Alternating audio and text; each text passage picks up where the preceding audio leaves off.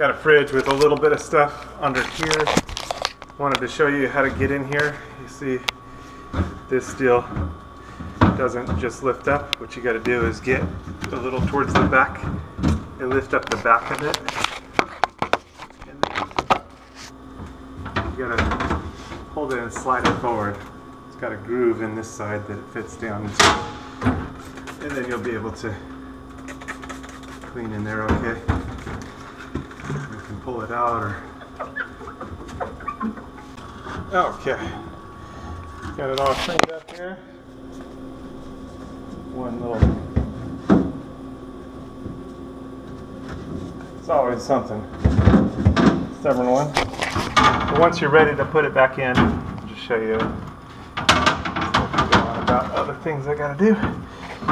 You just slide it forward, and then sometimes you gotta lift up push down a little bit slide it into the groove so that it seats all the way down into the deal.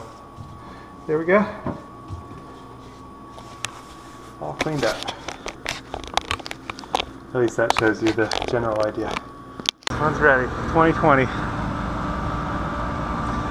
gotta be ready for the Lord's return. The Lord is gonna come for his bride anytime. Uh, Jesus came to seek and to save those that were lost. That was me. We've all missed the mark. Every person sinned and come short of the glory of God. But Jesus took the punishment that we rightfully deserve on himself at the cross, and he gives his righteousness to those that believe on him. So if you haven't put your trust in him, call out to him to save you. It's a gift of salvation. You can't earn it. He did it all on the cross, and he calls us to a loving relationship with him. So you are invited to be reconciled to God. Something that was impossible. God is holy and our sin separated, but without God, it was impossible. But God came to save us. He sent his son Jesus.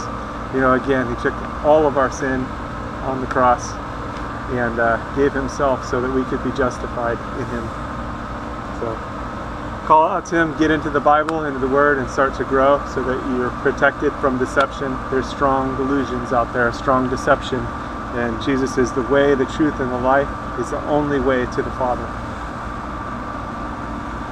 He's the only way to God. So don't don't get tripped up or tricked, and don't don't miss out on what is yours through Jesus. Call out to Him today. Don't wait. Time is short. He's going to return for His people.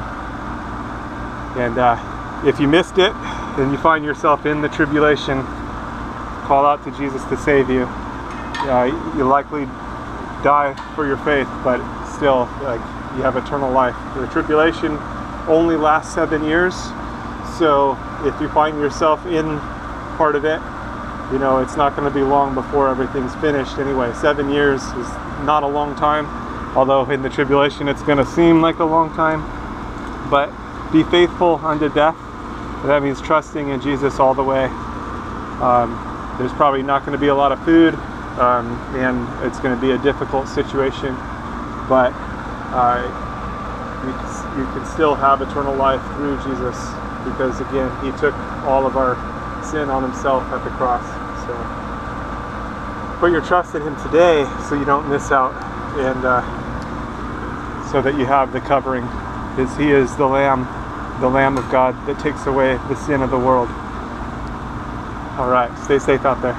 God bless. God bless you.